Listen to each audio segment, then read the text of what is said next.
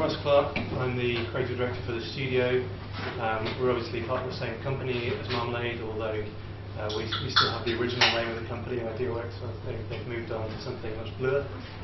Um, so uh, basically, I'm going to talk to you a little bit about where mobile gaming has sort of come from and been through the lens of my experience at Ideaworks, and um, offer a few thoughts about where it might be going. I hope you find it interesting. I threw this together this morning, so my apologies if it's a little bit rough and I don't have quite as many images as I would normally like to have.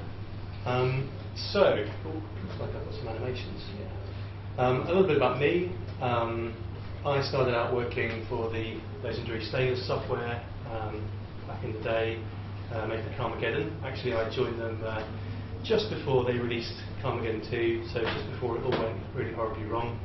Um, I hope there's no correlation between those two events.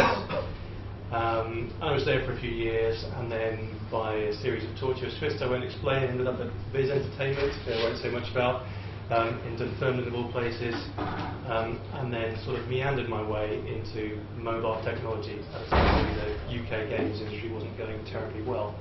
Um, that was Pixel Technologies. Um, and after a few years um, having no real creative itch to scratch and deciding I desperately needed to get back into games, uh, I heard about Ideaworks. Um, so I joined in uh, in 2005. Um, and those are like a few credits of the things that I've done in that time. Um, some reasonably big names. One of the things that's always been great about this company is because of our preeminent position in technology, we've been able to get some, some really nice IPs that um, others would not always be able to get hold of. Um, so I'll talk a little more about some of those things in, in due course. Um, so, yeah, mobile games, as I sort of saw it, um, started, well, pretty much, I guess, in the late 90s with, with Snake. Um, there's a sort of progression as the platforms have exploded and, and, uh, and followed on. Smartphones, the first things that we called, called smartphones were around in the early 90s, and that was uh, things like Series 60, Brew, and so on. Um, back in those days, native access was almost unheard of, and Java was considered to be pretty much the solution to fragmentation for developers. Um, wasn't the best solution the world's ever seen um, as far as the inequality of, of games that were made uh, at the time. Um, for some of the reasons I've listed there, it was a pretty patchy experience.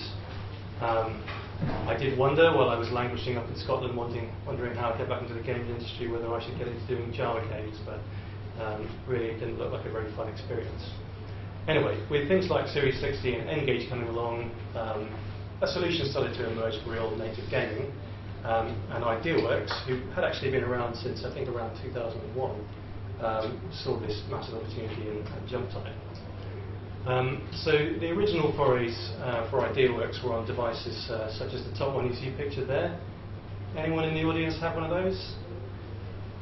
No one had an N-Gage? I don't blame you really. It's normally white. Um, and what Ideaworks started out with was actually um, some pretty clever tech for directly converting PlayStation code to run natively on ARM and on N-Gage. Um, there's a, I think that's not a, a, real screenshot, with a picture of Tomb Raider there. That was actually uh, one of the titles that they, they did back in the day. Tomb Raider, Blood and Clay, THPS. All this before I joined, which was in 2005. Um, at the time I joined the company, the second device you see pictured there was, was roughly the, the state of the art. Um, and there was still not very much in the way of what you would call native gaming available, but um, there was plenty of Java stuff. So this is what I would call the first age of smartphones. Um, this was um, this was a great time for Ideaworks. It was it was kind of a golden age, if you like, because there were really very few other companies out there who were trying seriously to do high quality game experiences natively um, on these kind of devices. Um, so we got to do some, some pretty epic things. A Final Fantasy game, Metal Gear Solid, that was my first title. Uh, System Rush was an IP that we did for, for Nokia, um, Sims 2 mobile, um, and all of these things were, were pretty much breaking new ground. Uh, there was hardly anyone else out there trying to do things um, as well as we did, and not very many people succeeded, and so you know, we won awards and it was good times. Um, our whole sort of core business, and this was at a time before there was really a separation between IdeaWorks Game Studio and IdeaWorks 3D, now known as Marmalade. Um, our business was based around sort of flagship developments of well-known console IPs um, that we would bring to mobile. We'd, we'd, get those contracts simply because no one else could do what we did. Um, and the watchword was all about console quality. Not necessarily because console games on mobile was something that consumers really wanted to play, but because it was an exciting idea and um, you know people people like to play pay for flagship stuff that made their platforms look good.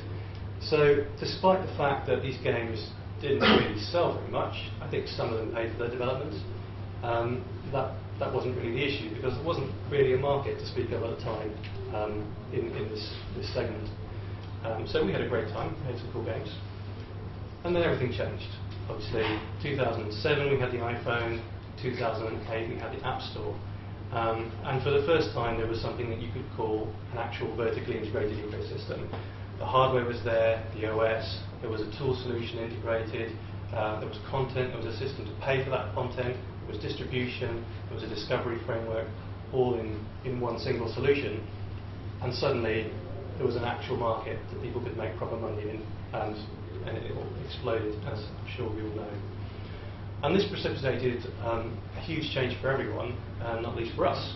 Um, fragmentation, um, obviously, IdeaWorks at this time were feeling pretty pleased with ourselves. We had turned that early technology into a product called AirPlay, which is now called Marmalade.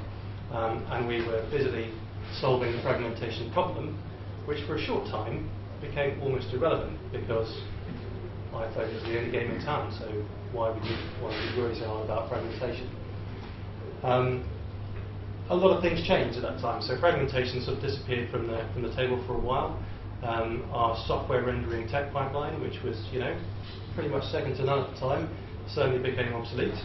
Um, and we had to completely reevaluate our whole focus uh, around a hardware-oriented pipeline for games development, uh, totally new asset conditioning requirements, um, totally new ways of building environments to make them work well, uh, new challenges for managing scenes, uh, everything was suddenly touchscreen, and the size of these assets that we're talking about, I mean, uh, I think when we shipped Call of Duty Zombies, it was around 50 megs in install. Metal Gear Solid was a game that installed in one and a half megabytes and ran in, in four megs of heap. Um, so as you can imagine, it was just a, a totally different ball game in terms of development. Um, we handled this pretty well. Um, so in 2009 and 10, we released Backbreaker Football, which was connected to the Natural Motion license. Uh, kind of a, a, nice game with a bit of a tech demo aspect to it. That made it to number one in the pay charts.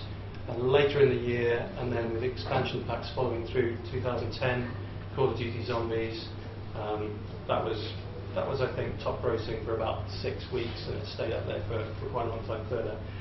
Um, so we did pretty well through some, some challenging times. Um, and there's a summary of uh, the way we saw our work at the time. Authenticity, accessibility, replayability, but still very much within the framework of taking console games and putting them on mobile and, and making them work, um, which nowadays might look like a fairly, fairly outdated way to approach things. So at the same time with this, uh, you had Android appearing and gaining ground, uh, the market appearing in 2009. Um, the, uh, the install base explodes shortly after that, and so it's now actually the, the widest installed mobile OS. Um, I'm sure plenty of you have seen this graphic before, one of many that depicts the, the nightmare of Android fragmentation. Um, so after a short hiatus, fragmentation was, was, very much back on the agenda in mobile game development. Um, exacerbated in the case of Android by the freedom which all the carriers and OEMs had to basically do whatever they wanted with it. Um, and even within the sphere of iOS, um, where the first devices were, you know, was almost like a console with one set of hardware. Um, suddenly there were loads of screen resolutions, screen resolutions, different API versions replacing each other, devices on some uh, uh, hardware devices on, on some of the devices and not others, um, and services that weren't actually available to every single OS revision in, circulation. So things got complicated again. There's a little graphic. This is actually fairly old now, I think you probably can't see, but I think that goes back to 2000, 11 is where that finishes. Of uh, that's data that we tracked, live data from Call of Duty Zombies, showing the, the progression of um, different devices as they came in and achieved dominance. Um, the thing that really opened our eyes on that was just how big the uh, second generation iPod Touch uh, became and stayed for, for a long time after it was um, replaced by newer devices. Um, so this led to uh, eventually what you could see as a, as a coming of age period for, for mobile gaming. 2010 to 11. Um, that was the point, I think, at which the market for what we had been doing, recreating console experiences, basically disappeared because now um, it was getting dominated by things that were actually designed for mobile. Obviously, casual games became massive, Angry Birds, Book, and so on. And even looking at the opposite end of the spectrum, things like Infinity Blade, console-like graphics, but very much not a console experience, something designed for mobile, designed for, for casual gameplay and for, for, short bursts of gameplay.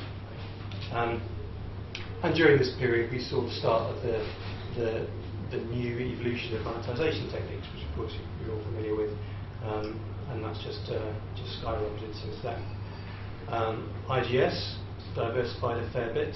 Um, obviously, we um, we still kept going on the Call of Duty franchise because we had a good business there. Um, Black Ops Zombies, more or less the same kind of thing as the first game, but uh, but better. Um, but we also found ourselves doing some some more modern stuff. Fable Coin Golf. That was a, that was actually a Windows Phone 7 title. Um, that was a casual puzzle game. Qubit was an IP we did. I'll show you a video of it in a minute. Um, uh, that was uh, basically, a, again, a short gameplay burst um, 3D arcade game for mobile. And we, we got briefly into the companion app space and had some fun with, with Elite Mobile. Um, so, to summarise quickly the things that we learned going through all this, um, first of all, things changed. Um, everyone knows that things change, but living through the mobile games business for the last five years, oh my goodness, how things have changed. Um, it's amazing how, how fast your reality can shift um, and, and power suddenly moves into the hands of a whole different set of people. Um, disruption is everywhere and it's going to continue to be everywhere. Um, it's not about platforms, it's about ecosystems. That's, that's something we've learned. Um, it's very instructive to look at what Apple did. It wasn't so much a question of inventing anything really new, but putting together existing elements that people had tried and failed with before and building something that was complete and coherent. Um, if you compare that with Android, something that is very dominant because of the way it was um, made free and pushed, um, but has not delivered the same levels of monetization um, at all as, as iOS um, because of the, the, difference in fragmentation of the, of the overall ecosystem.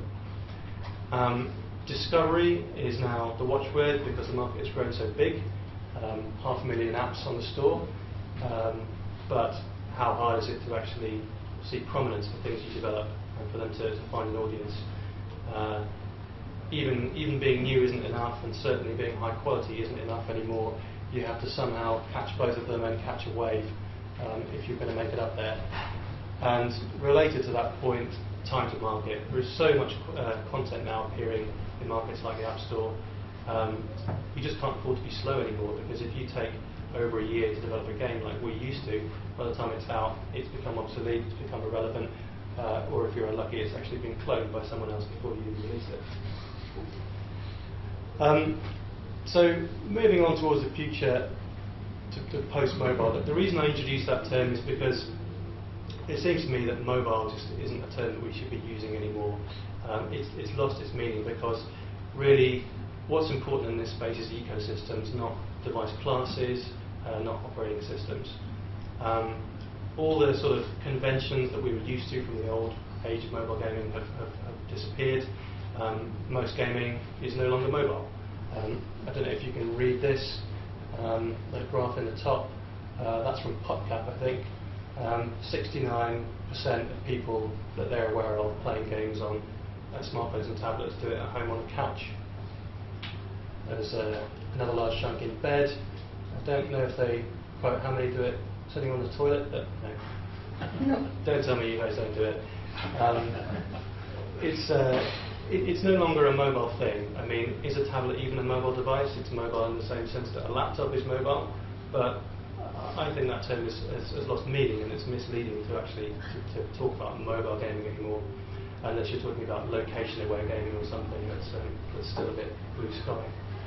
Um, what's happening in the space that we work in is now reshaping the whole industry, and I believe it's no coincidence that you're seeing um, the major platform holders actually delay their next generation. Um, not because they're not ready, not because, as they sometimes claim, um, you know, there's life in the old dog yet, but because they want to see what happens in mobile and in digital before they actually commit to putting something new in your living room that might be obsolete as soon as it's released. Um, the, the picture on the bottom there, you've probably seen that one, that's from Apple's patent for a game controller about a month ago. Um, don't know how long it's going to be before we see that in our living rooms, but I'm betting not very long. Um, yeah, it's amazing how people can patent things that look exactly the same as other things, but happens all the time. um, so there's all to play for, and it's it's very hard really right now to predict what's going to happen. But what you can be sure of is that the big players in what we have been calling the mobile space are going to be making a big impact in the living room, and they'll be using their connected up, joined up ecosystems and the other services they've got behind them to, to leverage for a position, a position of strength. Um, in terms of what to do about that, um, when you have a situation of this volatility, you have to be, you have to be agile.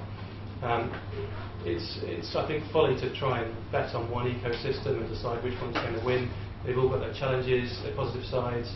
Um, what I, my message is that agility is a, is a thing you have to focus on. Um, and obviously, um, it's the Marmalade Develop Day. Uh, cross-platform readiness is, is a big part of that. I see that as the best hedge against uh, not knowing what's going to happen. Um, the space has been disruptive throughout its history, and it's going to continue to be disruptive. Um, if you are in a position to minimize the amount of work that you have to do to move to new platforms, then you are maximizing your ability to react to the unknown. Um, and you're also setting yourself up for an opportunity to balance your strategy, bearing in mind it's not just about picking the best ecosystem to go out on, um, it's about picking how to use their different properties. iOS is massive, okay, if you want to go for the biggest sales, you want to be on iOS. Um, but if you look at a new platform like Windows Phone 8, there's an opportunity there to be a bigger fish in a smaller pond, to take advantage of some incentives that Microsoft might be offering, um, and to use that to boost your image, increase your discoverability, possibly before you go to iOS or, or maybe just as a, a separate part of your portfolio. Um, it's not all just about tech. Having the right tech will help this, um, but more and more as this kind of diversity, even within ecosystems, increases, um, it's about design and it's about readiness, thinking about how your product is going to leverage different characteristics of different environments and the new things that are coming. Um, if, uh, if the Apple console is going to be a reality uh, very soon, maybe now is the time to be thinking about what your control by interface for your game is going to be and not just assuming that it's touchscreen all the way. Um, yeah, so that's all. I think I'm probably only halfway through my time, so um, I'll take questions, or I've got a few videos of some of the games I was talking about, if anyone would be interested to see them. Yeah.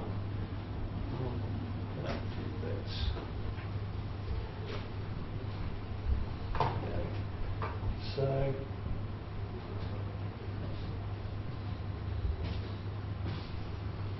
this is Metal Gear Solid Mobile. What will be when it starts? On the wrong screen.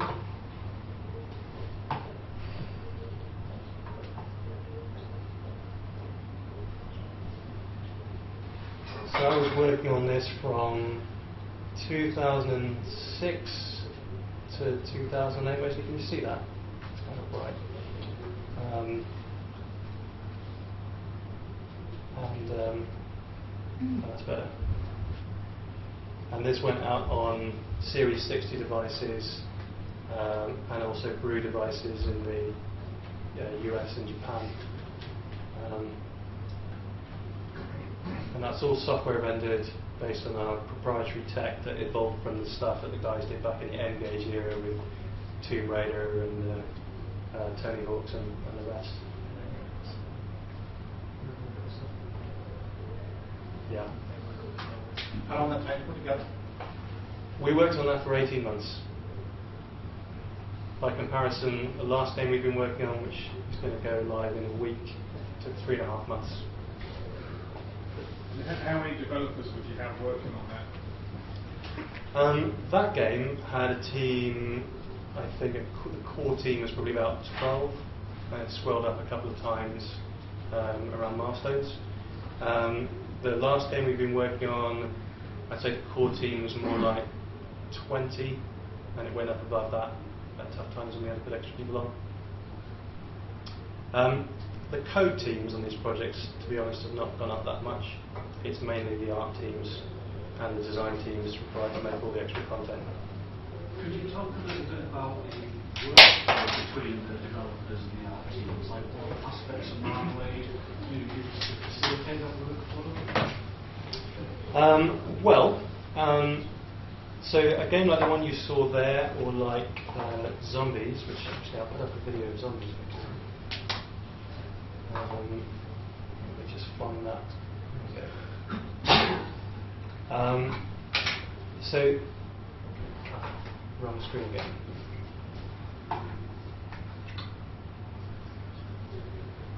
This is all built. Um, so, uh, this is all built on the technology stack that is part of um, what was called AirPlay Studio. Uh, is it now called Marmalade Studio? Yes. Yes. Um, uh, which is stuff that was sort of separated out from the from the core SDK and, and uh, worked into a separate section of the product. And then, um, well, the history of it is that a bunch of other high-level functionality um, that was never really product-worthy uh, then was separated out from that and um, and turned into what became the Studios tech that we worked on. So the Studio has a whole layer of engine tech that sits directly above Marmalade Studio and interfaces with that. Um, some of the stuff that we depend on for games like this um, is a part of the main Marmalade product, like for example the exporters from Maya. Maya is our content tool of choice. Um, and then a bunch of stuff, we had to write a whole scene graph, a Portal Engine scene graph for this game um, that we just developed ourselves to sit on top. And to some extent, we had to um, we had to extend the, the core asset formats that the, the Marmalade 3D stuff, 3D stuff depends on. For example, uh, again, the, the model chunking system that Marmalade can use, um, we had to sort of uh, write our own version of that in order to chunk our models up based on portal sector boundaries um, in order to make it work with this engine. Sorry, that's probably not a very specific answer to there your plans question. bring in any of that? Sorry? Are there plans to bring in any, any of that into the wider framework of Marmalade? Or If you mean if you mean to provide sort of higher level game engine functionality, Yeah. um, there, there would, as far as I'm aware, there are no plans to take sort of this era technology from the studio and productize that. But I believe there are some initiatives underway to evaluate possible solutions for providing um, a high level engine for, for Marmalade users who want it. You'd have to ask the Marmalade folks more detail about that. Oh, you, there we go. Me? Well, nobody. What else can I show you? One other question, Russ.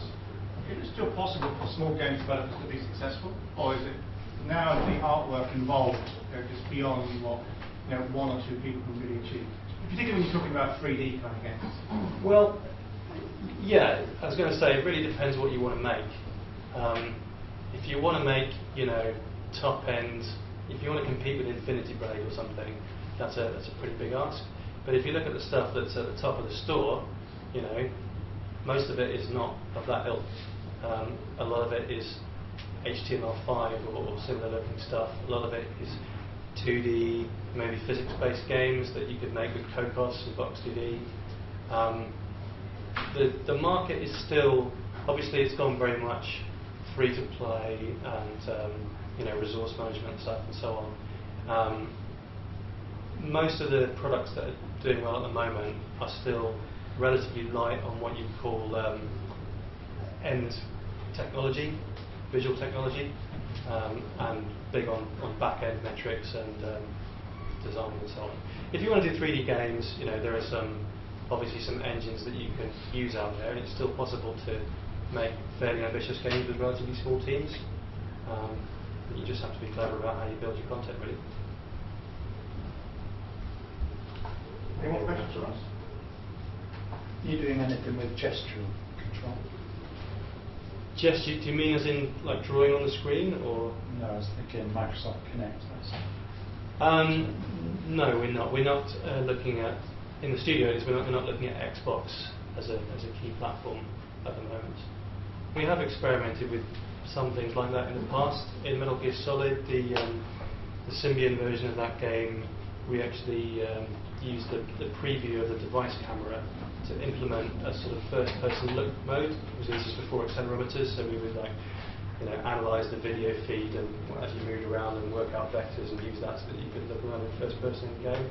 But that was just kind of a little fun experiment rather than a strategic thing.